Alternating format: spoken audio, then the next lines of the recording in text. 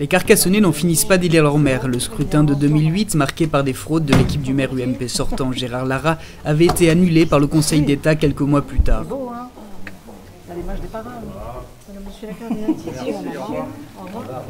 T'as vu, tu as une admiratrice 1260. Ah, c'est peut-être moi. Les électeurs se pressent devant les urnes, il faut dire que le moment est historique. Après 26 ans de domination de la droite, la préfecture de l'Aude pourrait repasser à gauche. Mais les fraudes ont marqué les esprits et des fidèles de l'équipe de Jean-Claude Pérez s'assurent dans tous les bureaux de vote du bon déroulement du scrutin.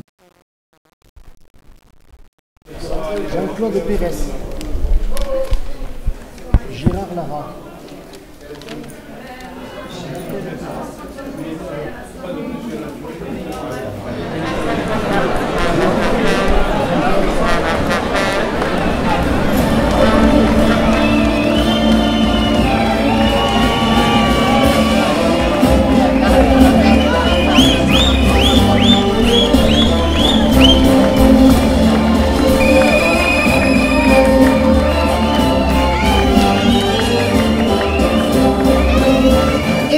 Conscience que c'est la seconde fois que nous gagnons les élections municipales à Carcassonne.